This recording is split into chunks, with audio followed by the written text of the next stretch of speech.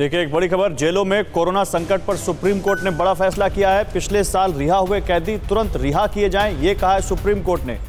कैदियों को 90 दिन की 90 दिन की पैरोल पर भेजा जाए, ये सुप्रीम कोर्ट ने कहा है। सब, सभी राज्यों और केंद्र शासित प्रदेशों को सुप्रीम कोर्ट ने यह आदेश जारी किया है।